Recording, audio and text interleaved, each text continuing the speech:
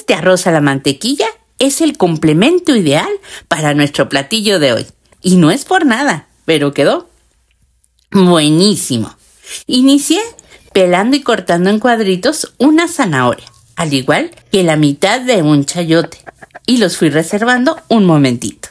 En mi vaso de la licuadora puse un cuarto de cebolla, un ajo, salpimenté y le agregué dos tazas de agua. Llevé a moler muy finamente y reservé. En mi cacerola puse a derretir un cuadrito de mantequilla junto con un chorrito de aceite para que no se queme. Y ahí mismo puse a dorar una taza de arroz que ya tenía lavado y escurrido. Ya doradito mi arroz, agregué la zanahoria, los chayotes y después de dos minutos agregué toda la molienda. Dejé que se consumiera toda el agua a fuego bajito. Apagué y tapé el arroz por 10 minutos para que reposara y esponjara. En mi sartén puse a sofreír un cuarto de cebolla, un ajo, dos jitomates partidos por la mitad, y en lo que se freían, limpié cuatro chiles pasillas. Les retiré todas las semillas y las venas, los partí en pedacitos y los llevé a mi sartén, cuidando que no se quemen para que no se amargue el adobo o la salsa, o como tú le llames, tesoro bello.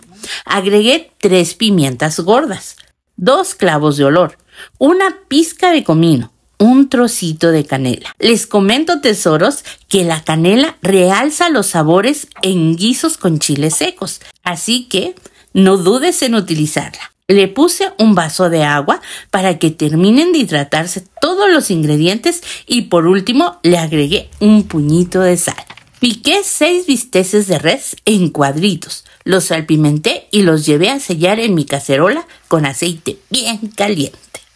Mientras tanto, desgajé unas setas, tesoros. Me han estado preguntando qué son las setas. Las setas son una clase de hongos comestibles que puedes utilizar para diferentes guisos. Solo los enjuagas perfectamente bien y los escurres, que te queden bien sequecitos para que no absorban demasiada humedad.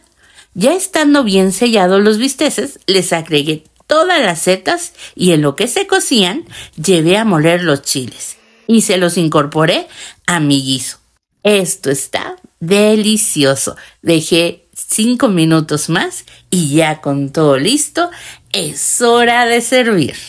En nuestro video anterior la receta fue con setas, por eso les aclaro hoy ese punto. Mmm, huele delicioso. Y ahora sí, después de darle gracias a Dios por los alimentos y por este día, es hora de probar estas delicias. Este arrocito a la mantequilla está buenazo. Mmm. Las verduritas que lo acompañan, otra cosa. Porque estos bistecitos sin chile pasilla ameritan una tortilla. Te van a encantar. Pues como siempre, mis tesoros bellos, es un honor y un placer cocinar con ustedes y para ustedes. Que Dios me los bendiga hoy, mañana y siempre. Nos vemos en una próxima, si Dios así lo permite. Bye. Besitos.